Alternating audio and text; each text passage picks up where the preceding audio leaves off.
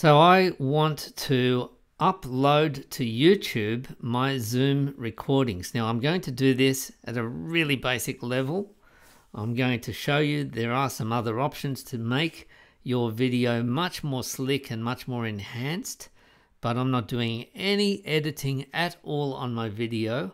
So I'm just going to upload it into YouTube. So I would go to studio.youtube.com. Obviously you need to have a YouTube channel. And what I'm going to do, I could go into videos here or simply go to create here or go upload video here.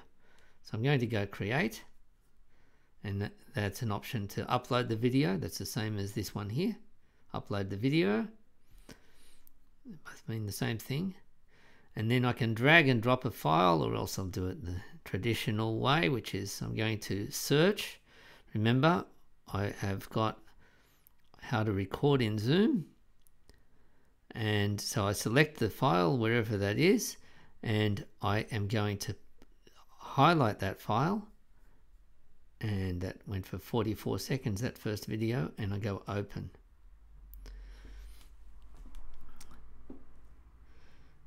Now you can enhance this title. This title is very important in YouTube and the description could really be a mini blog post but what I'm going to do is a demo, right? Uh, in a Zoom call, you can, right, here we go. You can record a Zoom call and upload it to YouTube. Okay. Now, if that's all I wanted to do, I could just get away and just hit publish now. I could just hit next and publish now. There's a whole lot of other things I could do. At this stage, a playlist, which is like a group of videos, I'm not even going to do that yet. Is this video made for kids, yes or no? I'm going to say no, only because it's going to create a lot of frustrations if people have um, videos in there that, uh, if they have filters and so on. So and I could add some tags in there. And I'm going to say put in some tags here such as I'm not sure what tags to put in. Zoom video video um, conferencing. All right.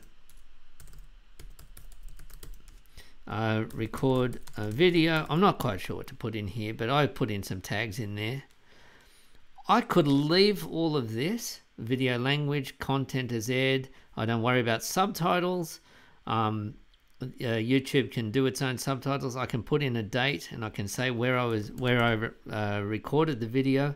I don't actually need to do any of this. I don't even need to use tags.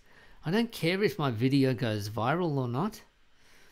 And you know what? I could even upload my own thumbnail. But if I don't, it's going to use one of these as, as a default. Something that it has just picked up from the video itself. Now all I need to do is hit next here. And an end screen is, look, at the end of this video, here is where you're going to go. I don't care. I'm going to leave all of this blank. This is just the basics. This is very important. Public means everybody can see your video. If you want to, you could just make it unlisted. So that's only for people you want to share it with.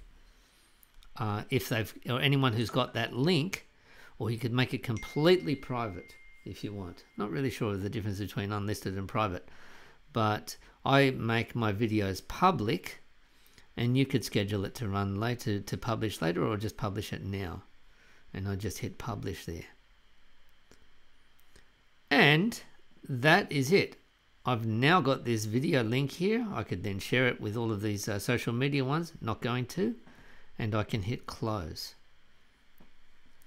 Congratulations, you have now just uploaded a video onto YouTube. Now, in fact, that video is not actually that good um, because it's just a sample video. So I'm going to go back into videos and I am going to delete that video or I could just make it private or, or unlisted or I could delete it altogether. I could go in and change the thumbnail. I, I might go in, I might go and create a thumbnail in Canva. There's plenty of videos around on uh, YouTube on how to create good thumbnails. Uh, I'm not the person to go to for that. But if I had th a thumbnail, I would go upload thumbnail and then point to wherever I've got my thumbnail. Okay? So the thumbnail is, is what people see, is, can be very important, is what people see to make them want to click on that. Just that, it's not the first frame of the video, and you can add it later, which is great. You don't have to add it right now. But yeah, like the real basics, just leave it, leave it at that. If I were to enhance this, if I really wanted this video to do well, I would definitely improve the thumbnail because that doesn't, that first one doesn't say anything. If people are looking from, from you know, 10 feet away, five feet away, are they going to tell what this video is even about?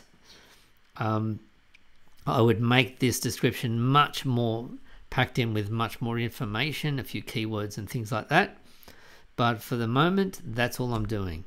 And I could always add in subtitles. I can respond to people's comments. I could go and edit edit out parts of the video, take uh, trim bits out of it, but I'm not doing any of that. Okay. So very, very simple. In fact, what I'm actually going to do is delete this video now.